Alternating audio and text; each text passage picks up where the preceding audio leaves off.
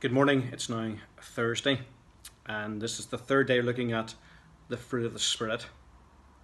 I guess for some of us uh, over these two months of COVID, some of us have been very industrious in terms of gardening and so forth, maybe planting things for the first time, even uh, in maybe your windowsill or out in your back garden. Just maybe taking that opportunity to grow things. And hopefully, all your hard work will prove fruitful. So, we're thinking again of three more of the fruit of the Spirit. We're thinking of faithfulness, gentleness, self control.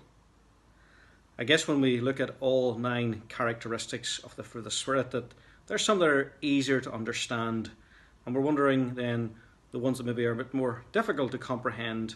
Well, what does Paul mean as he thinks about the evidence of the work of the Holy Spirit? And again, encourage you to take time to think through these nine characteristics, not to pick and choose one or two, but to think, okay, well, what does that mean? So, what does faithfulness mean? Well, obviously, we have a God who's faithful, and that's very much the testimony of Scripture. Despite all that we do wrong in our lives, He is faithful to us. So, how are we faithful in terms of our relationship with God, in terms of our relationship within our families, within the church family, with those that we work with, with our neighbours? Are we seen as faithful, unwavering, especially when maybe all around us things are going curveball? Are we faithful? Maybe that's also in terms of what we believe in, what we aspire to in our lives and our goals. Maybe as an individual, as a Christian, as we think about how we're faithful to a cause. And as Christians, we want that others would know Jesus Christ.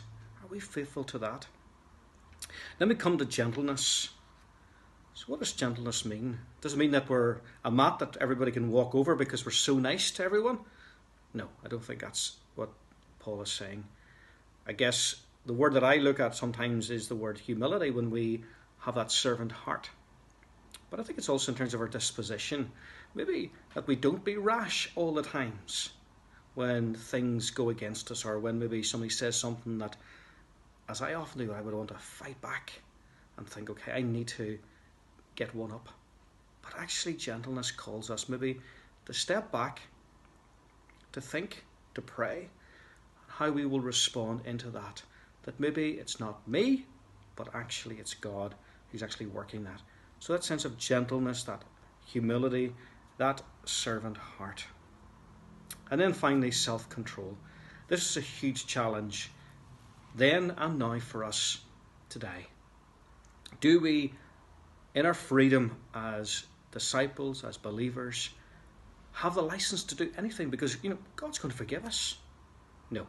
The Spirit must work in our lives. We must live by the Spirit. We must be led by the Spirit. We must keep in step with the Spirit so that everything we do honours God. And so that's a challenge for all of us to pray each day for that fruit of self control. We live in a world of self. So it's a challenge for me and for you not to indulge in things that would actually bring us into disrepute in terms of our walk with Christ. So there's many things that we could think about. But I'm not going to mention them. But I want you to think, okay, what are the things that I need to lay before God so that there is that fruit of self control.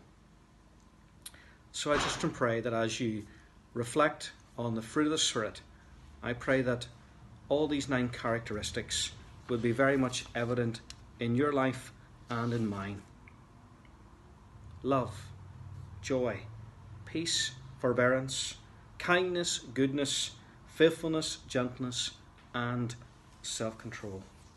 Against such things there is no law. Be blessed, stay safe, continue to enjoy the good weather. I pray that we will continue to show ways in which we love each other in the family of God, even though we're separate. We're grateful for the opportunity to have the church open for prayer. Continue to keep close to Jesus, the one who's risen and ascended and whose Spirit dwells within us. And so I pray, breathe on me, Holy Spirit, Cleanse me and sanctify me, so that I may offer all my praise, all my service, all my devotion, all my love, through Jesus the Son. To God the Father. Amen.